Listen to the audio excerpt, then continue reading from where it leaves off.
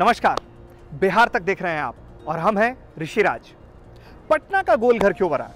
क्या आपने कभी सोचा है? पटना का गोल घर बनाने के पीछे मकसद क्या रहा होगा?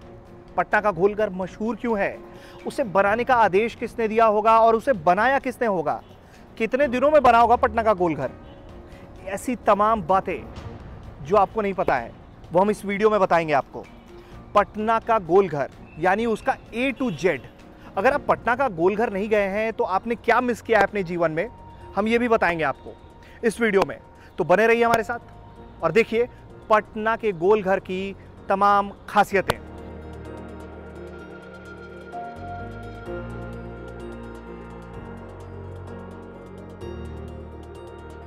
उनतीस मीटर की ऊंचाई से अगर आपको कोई पटना का खूबसूरत जगह दिखा सकता है तो वो पटना का गोलघर है।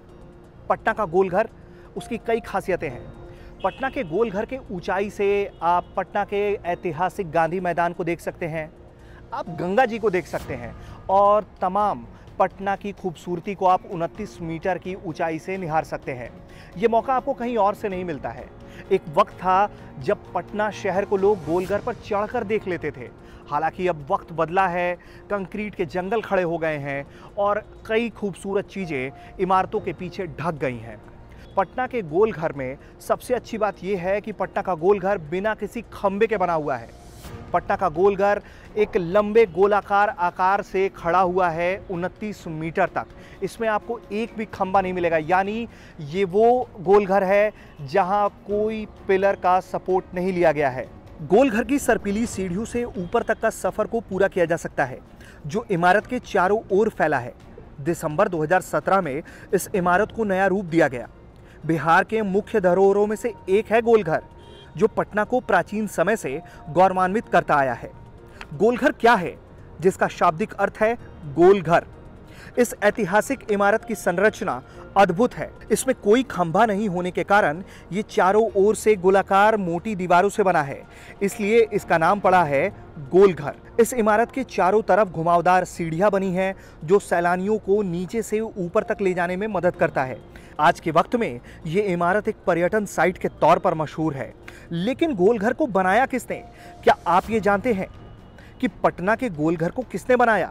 दरअसल उसे बनाने वाला एक विदेशी था। गोलघर की चौड़ाई एक मीटर है और लंबाई 29 मीटर।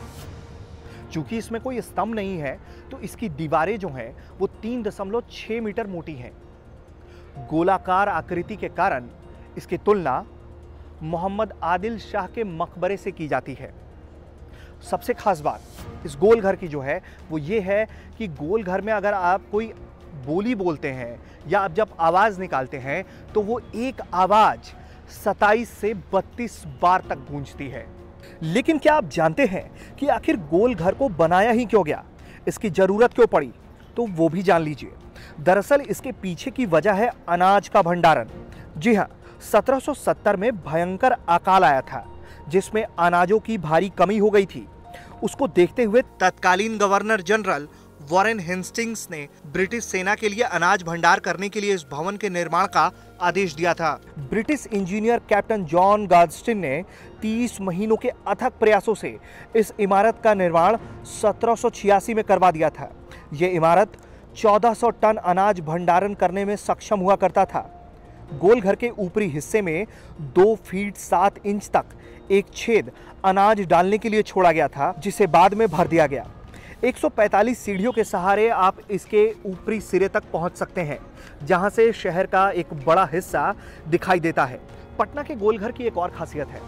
पटना का गोलघर जो है, उसके ऊपर के तीन मीटर जो हैं, वहाँ ईंटों का इस्तेमाल नहीं हुआ है, बल्कि ऊपर के तीन मीटर सिर्फ़ पत्थरों से बनाए गए हैं। पटना का गोलघर कुछ सालों तक ऐसे ही वीरान पड़ा रहता था, लेकिन कुछ सालों बाद जब सरकार की नींद टूटी तो सरकार ने अब वहाँ पर गार्डन डेवलप कर दिया है। लोग आते हैं, गार्डन में बैठते हैं गोल घर देखते हैं और कई तस्वीरें खिंचवाते हैं और अपने साथ उसे याद की तरह सजो कर रखते हैं।